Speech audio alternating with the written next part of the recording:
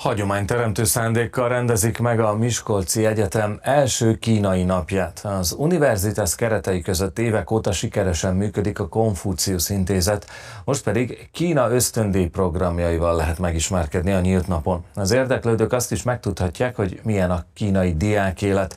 Mindezt számos kulturális és szórakoztató program mellett. Nézzük a további részleteket. MB Liza és vendége következik, parancsolj! Természetesen nem csak az oktatás és a diák élet területén nyújt majd információkat, hanem egyébként egy komoly közvetítő szerep is a munkavállalás terén, úgyhogy egy nagyon fontos kérdésről is beszélhetünk.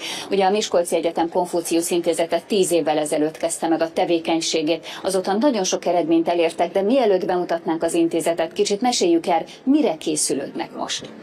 Örget kívánok, én is sok szeretettel köszöntöm a tévénézőit. Innen Miskolcról az Egyetemvárosból, Magyarország leg, legszebb kampuszáról, ahol a mai napon kerül sor a Karrierfestre. Régi nevén ezt vállalati vagy állásbőrzének neveztük.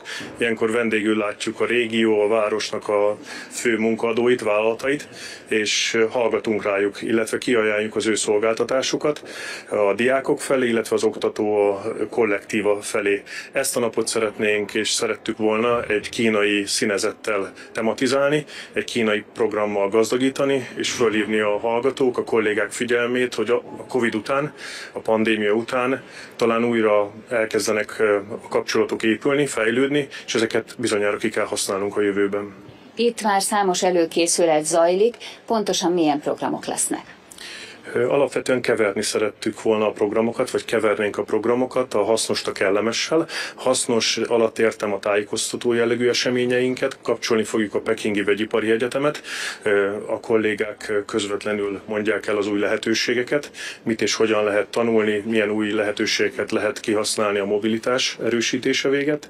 A másik felét a programjainknak pedig a kulturális események teszik ki, azok az események, amikor a kultúrát, a kínai kultúra hihetetlen gazdagságát lehet megtapasztalni, a kalligráfia, az írásművészet, vagy éppen az ízeken keresztül, vagy egy-két érdekes a kínai történelmről szóló kvízen keresztül, és ezáltal a hallgatóink felfedezhetik magukban az esetleges érdeklődést Kína iránt, és hogyha ez hogyha ez egy élő, akkor szeretettel várjuk a Konfucius Intézetben őket, és elindítjuk ezen a hosszú úton, nagyon érdekes és izgalmas úton, amely alatt fölfedezhetik Kínát, Kína értékeit és a kínai kultúrát. Tehát, ha jól értem, a diákok akár kínai ösztöndíjakra is jelentkezhetnek, és gyakorlatilag önök erről adnak tájékoztatást, hogy ilyen közvetítő szerepnek érzem én ezt, akár az oktatás, akár a munkavállalás területén is? Valóban, valóban ez, egy, ez egy globális recept, ahogy a Konfucius intézetek működnek, és van ez a receptünk, amely alapvetően valóban hidat szeretnénk építeni,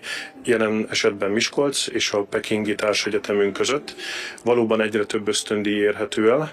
A pandémia izoláltsága után valóban Kína elkezdett nyitni. Ezeket a lehetőségeket lehet keverni, lehet kombinálni az Európai Uniós lehetőségekkel, illetve a hazai forrásokkal, és ez valóban azt jelentheti, hogy az ember egy rövidebb vagy egy hosszabb tartózkodásra kimehet Pekingbe, és, és, és, és ott tanulhat. Ez a fő küldetésünk. Egy nagyon-nagyon fontos kérdésem még van, kevés időnk maradt, de van lehetőség elhelyezkedni is? Tehát vannak itt olyan cégek, akár most a Karrierfesten, akik a kínai tudással rendelkező diákoknak is munkát jelenthetnek? Ez egy teljesen tudatos döntés volt, hogy ma ide a állásbőrze és a vállalati bőrze mellé szerveztük ezt az eseményt, mert egyre több vállalat van. A Borsotken Vanhua, a Sherwin, a Tempo, ezek kínai érdekeltségű vállalatok, akik olyan munkaerőt keresnek, akik képben vannak, és tudnak Kínáról, beszélik a nyelvét, és bele tudnak illeszkedni egy olyan munkakollektívába, ahol valóban magyarok, kínaiak együtt dolgoznak. Tehát egy karrier lehetőség a fiatalok nagy, ön számára nagyon szépen köszönöm a beszélgetést, és ami nagyon fontos, hogy az utánpótlásról is gondoskodnak, hiszen például a Miskolci Zrínyi Ilona gimnáziumban